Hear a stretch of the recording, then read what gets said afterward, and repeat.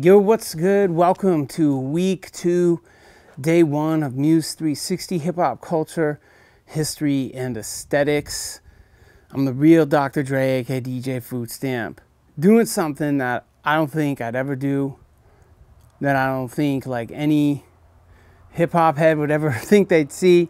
Um, but I'm here, full blown Farmer Joe style hat, my Bernie shirt, you know, farmer hat, farmer hat and shirt on, um, sitting on my tractor, about to give a talk on DJ Kool Herc and the B boys and B girls of the Boogie Down Bronx. I may get my hip hop pass torn up, revoked, burnt, drop kicked, or whatever, but you know, I was just down here doing some work, so figured we drop we drop some hot knowledge on y'all from the tractor. So today we are going to talk about the pioneer, the godfather, the father, whatever you want to call him, the man, DJ Kool Herc. We're going to talk about hip hop aesthetics um, and primarily the DJ culture. You know, we got a little taste of this um, uh, in Rubble Kings, and then we're going to watch a little a little film, uh, about 30 minutes of a film at the end of the class called The Hip Hop Years. Um, so you can hear these people talk about it for themselves and kind of work us through some of this stuff. So uh, I'd ask you to read a few things. I had asked you to read a little bit in a chapter from Dick Hebdige's book um, um, about the Jamaican sound system culture, sound clash culture. Uh, I had asked you to read uh, quite a bit, um, you know, in Tricia Rose's book, Black Noise, um, about hip hop culture. But and then some comics and stuff like that. So I, I think a couple of things. Just you know, let's talk about you know what gave rise to hip hop, right? So you know, from last week or from our, our you know last lecture, you know. Uh, uh, uh, we saw the socio-economic conditions of New York City, right? Post-industrialization, here's a city that's been stripped of industry and therefore, you know, jobs.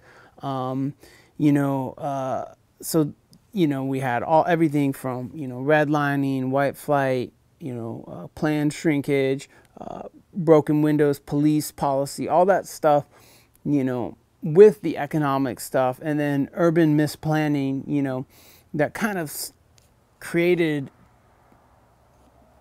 you know, this place that. Um, had been stripped of, of mostly everything, you know, and had been whittled down to a very small population living in some pretty harsh um, conditions. Um, but, you know, hip hop is about communication, it's about, um, you know, expression.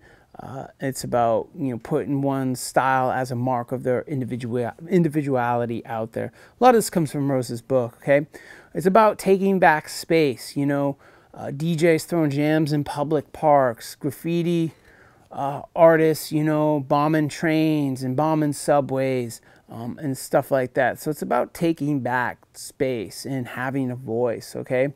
Uh, Hip hop is about, you know, appropriating technology, you know, figuring out how to get, you know, how to make new music and new culture out of someone else's records, you know, using someone's two copies of someone's records, you know, um, you know, using turntables in different ways, using samplers in different different ways, using headphones as a microphone, you know, um, tapping lampposts, you know, in the South Bronx and stuff and stuff like that. So it's about appropriation, you know, of, of, marks of symbols from dominant and mainstream society as well.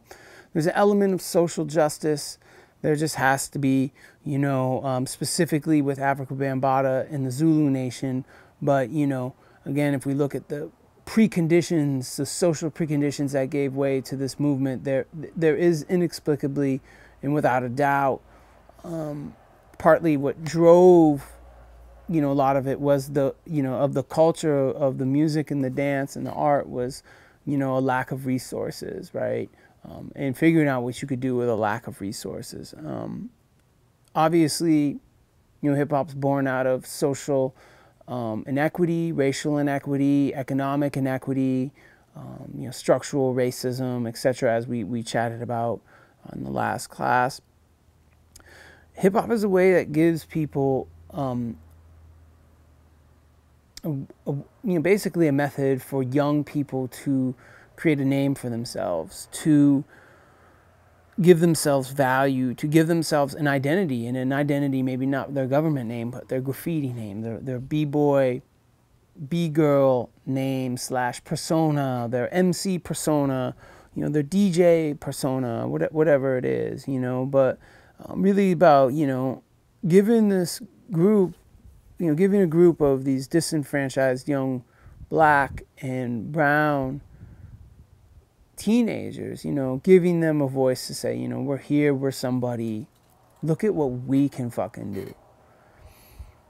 You know, look what we can do. And, and again, you, you, you put all this together and you look at like hip hop now as a global, multi bajillion dollar industry. And look at what these kids did, right? They made something out of really nothing, you know, and that became like one of the biggest arts and cultural social movements of like generations, you know, multiple generations, you know. Um, often, you know, hip hop is also in opposition to, mainstream society. Now, this is like, you know, hip hop is mainstream now, right? It's it's on TVs and commercials, and you know, it's it's it's it's full blown mainstream, soccer mom approved, you know, music and culture, right? But initially, it started in opposition to mainstream society, and the mainstream society that had, you know, dissed these young brothers and sisters. So, um, you know, and in many ways, hip hop came as a reaction to the disco music and disco culture of the time, which we'll talk a little bit about um, in future units. Um, and then the element of competition, right? Be to have the best style, the most unique style, to have the best moves, to have the best break beats, to have the best rhymes, you know, to have the you know the best letters, the most dopest colors, the most wildest style, um, you know, art and and on the trains, you know, stuff like that. Competition is at the core of hip hop culture is what drives innovation and drives the culture uh, forward. It's it's of utmost uh, importance you know.